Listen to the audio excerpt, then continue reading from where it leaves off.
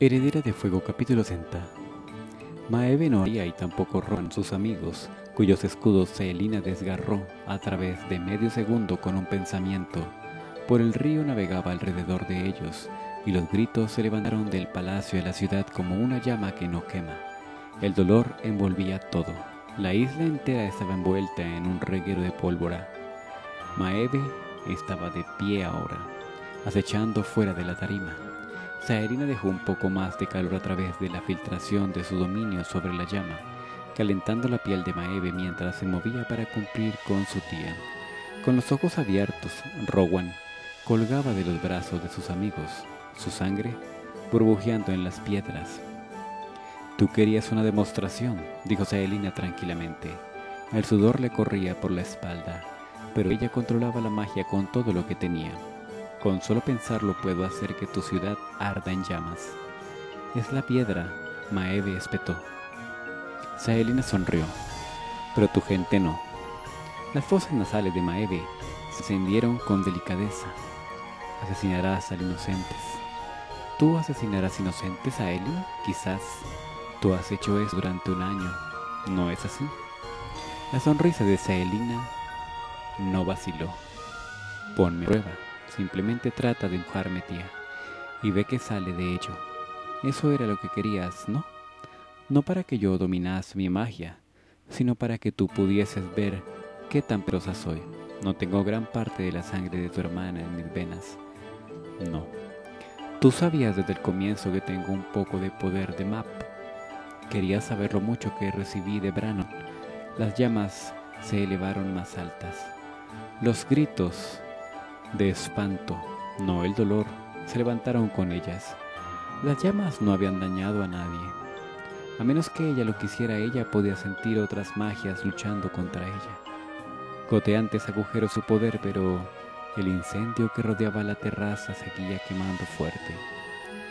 Brano nunca dijo la clase para las llaves, y tú no le hiciste viaje con Brannon y Atril a recuperar las llaves del Balak. Saelina continuó, una corona de fuego envolviendo su cabeza. Tú fuiste a robarla por ti mismo. Tú querías quedártelas. Una vez que Brannon y Atril se lo dieron, se dieron cuenta de eso, lucharon. Y Atril, Saelina dibujó la silueta de Goldrin, su empuñadura de color rojo sangre brillante. Tu querido Atril,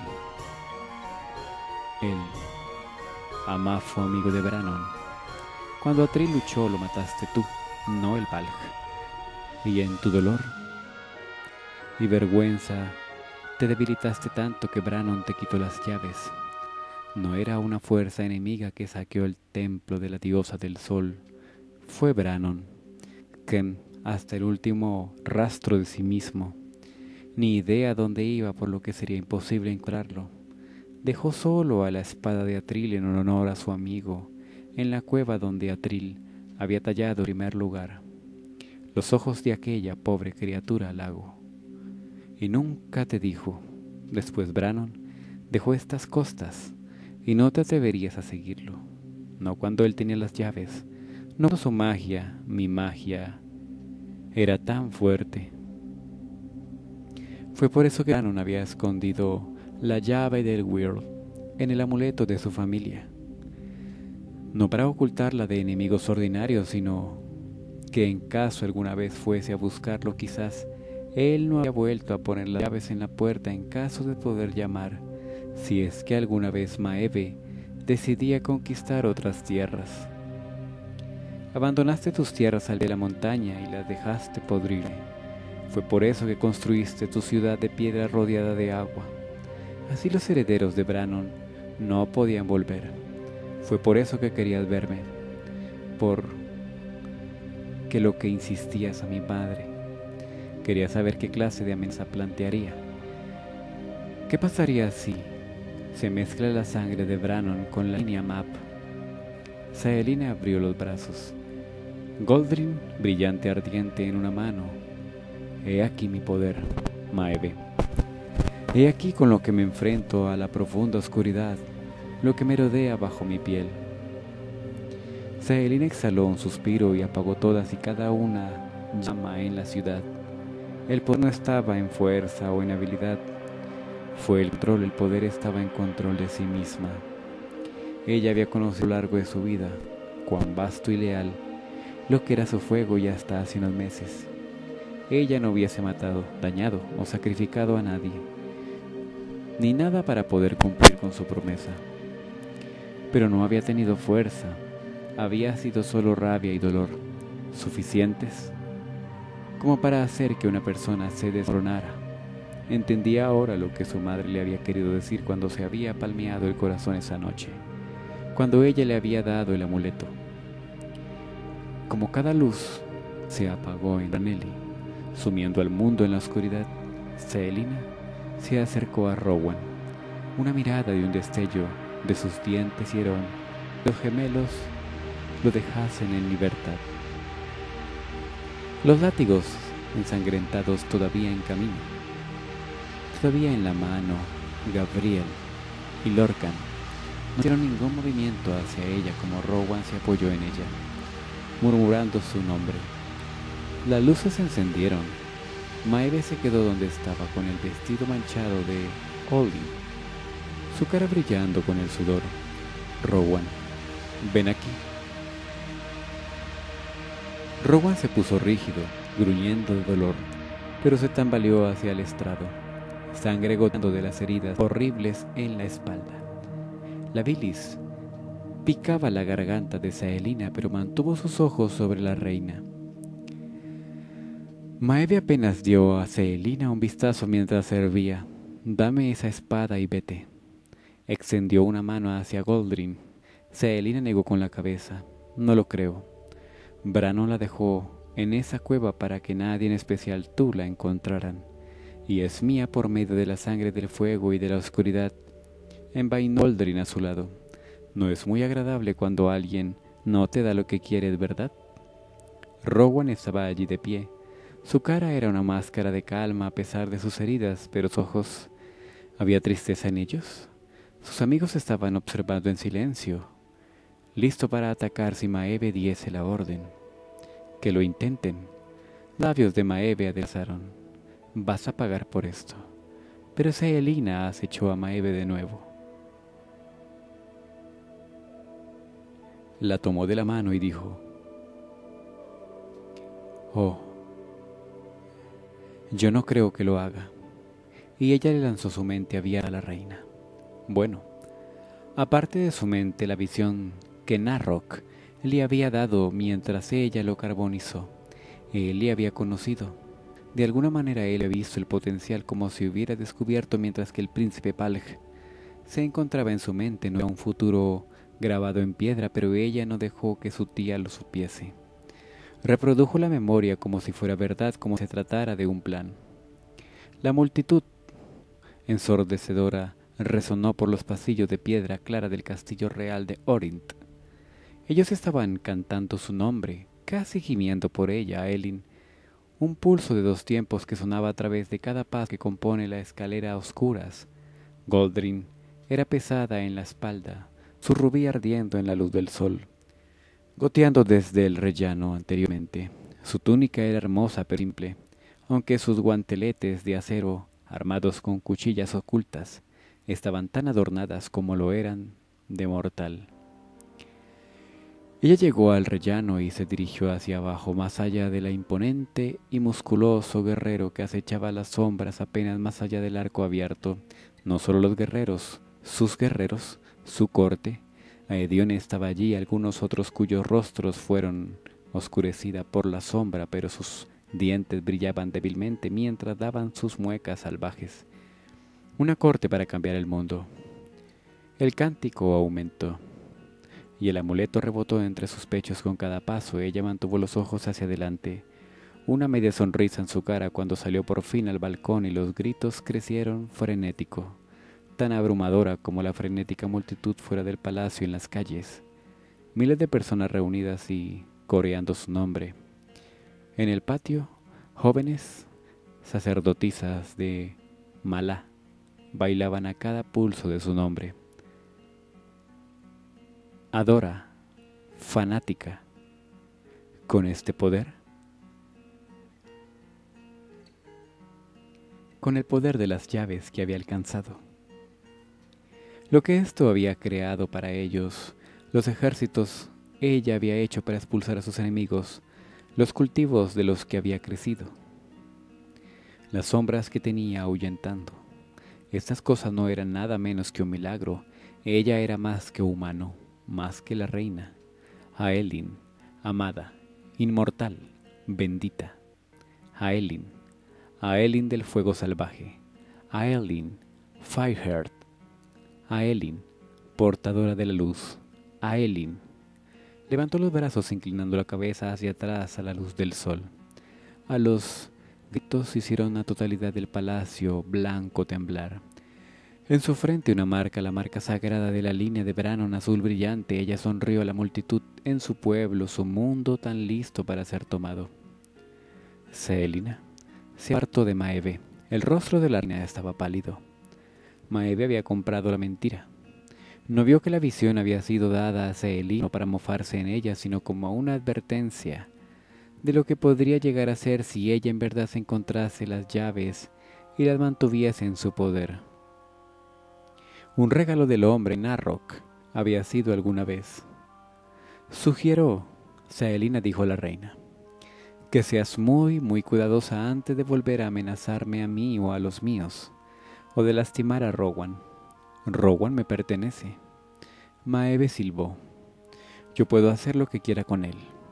Seelina miró al príncipe, que estaba de tan incondicional, sus ojos en brillo con el dolor, no de las heridas en la espalda, pero a partir de la separación que se había hecho a cada paso que los llevaba hacia Doranelli. Poco a poco con cuidado, Selina sacó el anillo de su bolsillo. No era el anillo de Shaol, el que había estado agarrando en esos últimos días.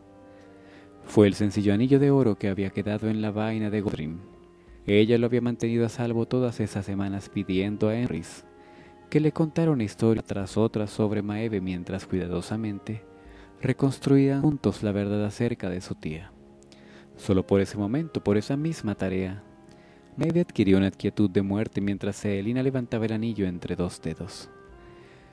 Creo que has estado buscando eso desde hace mucho tiempo, dijo Selina. Eso te pertenece, ¿no es así?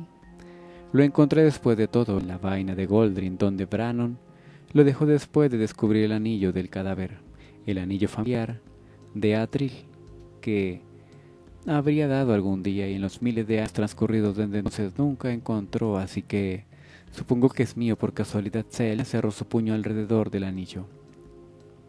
Pero ¿quién hubiera pensado que eras tan sentimental?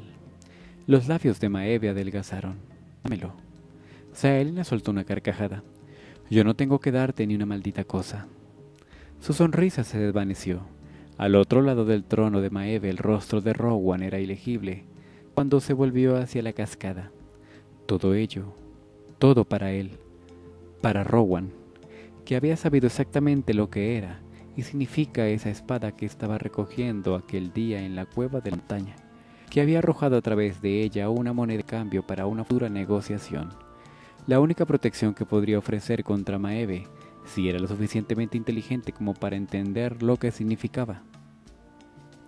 Solo se había dado cuenta de lo que había hecho, de lo que había sabido todo este tiempo cuando lo había hablado con él hace semanas y había esperado que le encontrara alguna utilidad. Él aún no entendía que una alianza en herejía o seguridad significaban para ella. Así que Saelina dijo,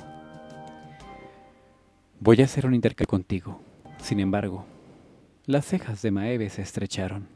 Saelina sacudió la barbilla tu amado anillo por liberar a Rowan de su juramento de sangre. Rowan se puso rígido, sus amigos giraron sus cabezas hacia ella. Un juramento de sangre es eterno, dijo Mae con fuerza. Selina no creía que sus amigos estaban respirando. No me importa, libéralo. Selina tendió el anillo de nuevo. Es tu elección, libéralo, o derrito este anillo aquí mismo. Una apuesta, tantas semanas de intrigas y planificación, y con la secreta esperanza. Incluso ahora, Rowan no se volvió.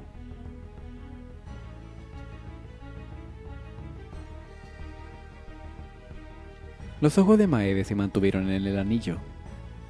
Y Saelina entendió por qué. Era porque ella se había atrevido a probarlo. Después de largo silencio, el vestido de Maeve crujió cuando se enderezó con la cara pálida y tensa. Muy bien, ha logrado ponerse bastante aburrido en estas últimas décadas de todas formas. Rowan se enfrentó a ella poco a poco como si no acabara de creer lo que estaba oyendo. Era Selina a quien miraba, no a Maeve. Cerró con los ojos brillantes. Por mi sangre que oye en ti, dijo Maeve, a través de ninguna deshonra, de ningún acto de la traición, yo te libero. Rowan, Whitethorn, de tu juramento de sangre hacia mí. Rowan se quedó perplejo y se la quedó mirando. Selina apenas oyó el resto. Las palabras que Maeve habló en el antiguo idioma, pero Rowan sacó una daga y derramó su propia sangre en las piedras. Lo que fuese que eso significase, nunca había oído hablar de un juramento de sangre que se rompa antes. Pero se había arriesgado independientemente, tal vez no había existido uno jamás que se hubiera roto en toda la historia del mundo honorablemente. Sus amigos estaban con los ojos abiertos y en silencio. Maeve dijo, Usted es libre de mí, príncipe Rowar Whitethorn. Eso fue todo lo que Selina necesitaba oír antes de que tirara el anillo de Maeve antes de que Rowan corriera hacia ella con las manos en sus mejillas, su frente contra la suya. Aelin, murmuró él, y no fue una reprimenda o un agradecimiento, más bien una oración. Aelin. Él susurró de nuevo con una sonrisa y la besó en la frente antes de caer a ambas rodillas ante ella. Y cuando llegó a su muñeca, ella se echó hacia atrás. Eres libre. Ahora eres libre. Detrás de ellos, Maeve observaba con cejas altas, pero Selina no podía aceptar esto. Podría no estar de acuerdo con él. Completa y total decisión, eso es lo que era un juramento de sangre, y le daría toda su vida, cualquier propiedad, cualquier opción de libre albedrío. El rostro de Rowan estaba en calma, aunque constante aseguró, confía en mí. No te quiero esclavizado hacia mí, no voy a ser tipo de reina. No tienes ni la corte, estás indefensa, sin tierra y sin aliados. Ella podría dejar de salir de aquí hoy, pero podrá volver a buscarte mañana. ¿Sabe lo poderoso que soy? ¿Cómo lo poderosos que somos estando juntos? Esto hará que ella dude en actuar. Por favor, no lo hagas. Te daré cualquier cosa que pidas, pero no esto. Reclamó Ellie. Sea cual sea el final. Ella podría haber continuado en argumentar en silencio con él, pero una extraña calidez femenina que había sentido en el campamento aquella mañana se encontró envuelta alrededor de ella, como le aseguraba que ella deseaba esto lo suficientemente mal, que llegaba a doler, dice que podía confiar en el príncipe más que eso, más que nada que podía confiar en ella, así que cuando Rowan tomó su muñeco otra vez, ella no luchó contra él. Juntos, Fireheart, dijo empujando hacia atrás la manga de su túnica. Vamos a encontrar una manera de estar juntos. Él levantó la vista, su muñeca expuesta en una corte para cambiar el mundo. ¿Prometido? Entonces ella estaba asintiendo, asintiendo y asintiendo también, mientras sacaba la laga de su bota y se lo ofreció a ella. Dilo, a Elin, sin atreverse a dejar que sus manos temblaran delante de Maeve y los estupefactos amigos de Rowan tomó su daga y la asustó sobre su muñeca expuesta. ¿Promete servir en mi corte, Rowan Whitethorn? Desde ahora hasta el día en que me muera. Ella no sabía las palabras adecuadas o el lenguaje antiguo, pero juramento de sangre no era acerca de las frases bonitas. Lo haré, hasta mi último aliento, y el mundo más allá, sea cual sea el final. Maeve seguía ahí como una sombra que estaba al acecho detrás de ellos. Eso... Por eso se había hecho ahora. Por eso Selina no podía objetar nada. No podía tratar de convencerle, de lo contrario, era como una cosa que Rowan quería hacer, así de testarudo que solo pudo sonreír cuando ella señaló la daga a través de la muñeca, dejando un rastro de sangre a su paso y le ofreció su brazo manchado. Con sorprendente delicadeza la tomó de la muñeca en sus manos y bajó su boca a su piel. Por un instante, un rayo brillante rompió a través de ella y luego se establecieron un hilo a los más y más fuerte con cada tirón. Rowan tomó sangre.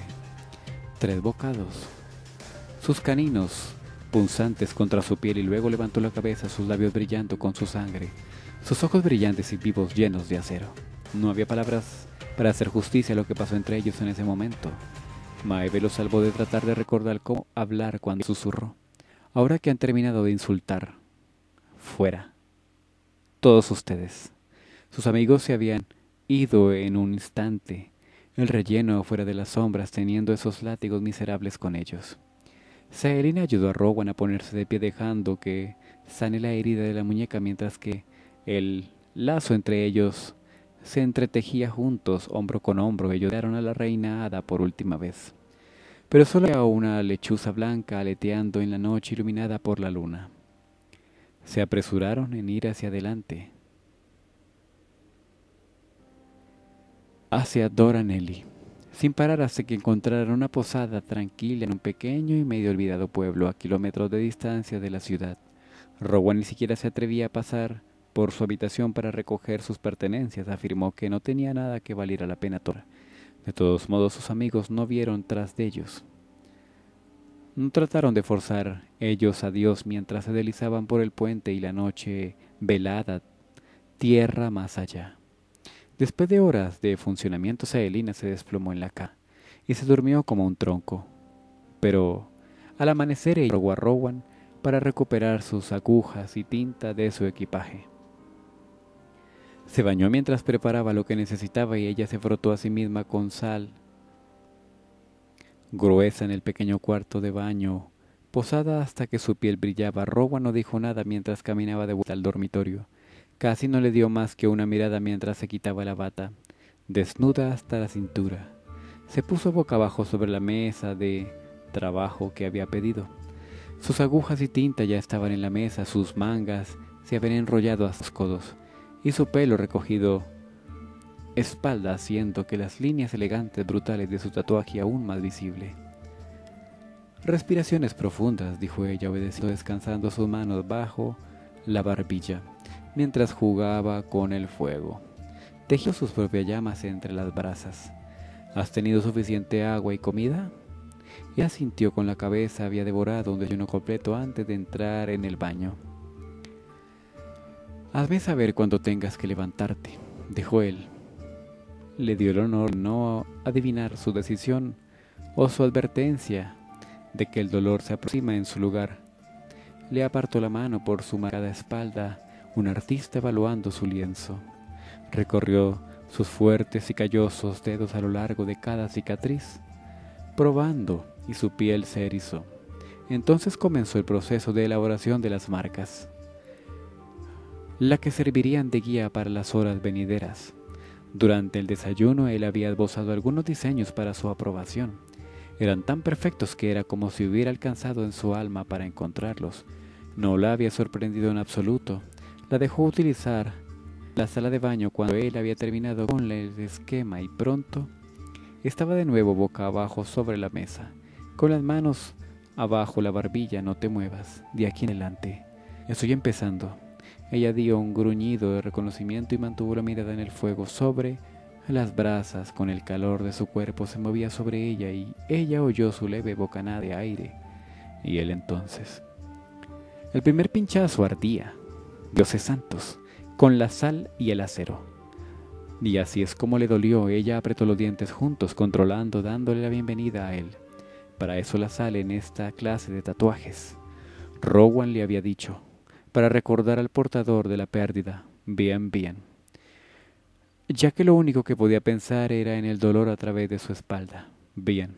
Cuando Rowan hizo la siguiente marca, abrió la boca y comenzó sus oraciones.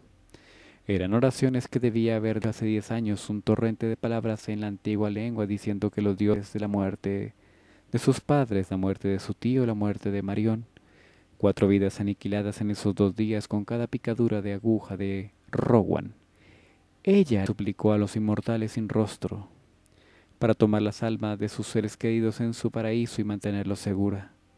Ella les dio, les dijo que su pena le dijo a las buenas acciones y las palabras cariñosas y valientes actos que habían realizado. Nunca hizo pausa de más de un aliento. Ella cantó las oraciones que les debe como hija y amigo y heredero. para las horas que Rowan trabajó. Sus movimientos cayeron en el ritmo de sus palabras, cantaron y cantaron. No habló. Su mazo y agujas del tambor, a su canto tejiendo a conjunto de trabajo. Él no le ofreció agua cuando su voz se volvió ronca, su garganta tan devastado que tenía que susurrar, enterrarse en ella. Cantaba desde el amanecer hasta la puesta del sol de rodillas en la grava, sin comida ni bebida o descanso aquí ella cantaría hasta que las marcas se realizaron. La agonía en su espalda le ha ofrenda a los dioses. ¿Cuándo terminó? Tenía su espalda con carne viva y palpitante, y le tomó varios intentos para levantarse de la mesa. Rojuan la siguió noche oscura de campo cercano, de rodillas con ella en la hierba. Ella inclinó su rostro hacia la luna y cantó la canción final, el canto sagrado de su hogar. Rowan no pronunció ni una palabra mientras ella cantaba. Su voz, una voz rota y cruda, permaneció en el campo con ella hasta el amanecer. Tan permanente como las marcas en su espalda. Tres líneas de texto desplegados sobre sus tres cicatrices más grandes. La historia de su amor y la pérdida ahora escrito en ella. Una línea para sus padres y tío. Una línea para Lady Marion. Y una línea su corte y su gente. En las cicatrices más pequeñas y más cortas. En las historias de Nehemía y de Sam, su amante muerto. Ya no tendrían que estar encerrados en su corazón. Ya no tendría que avergonzarse.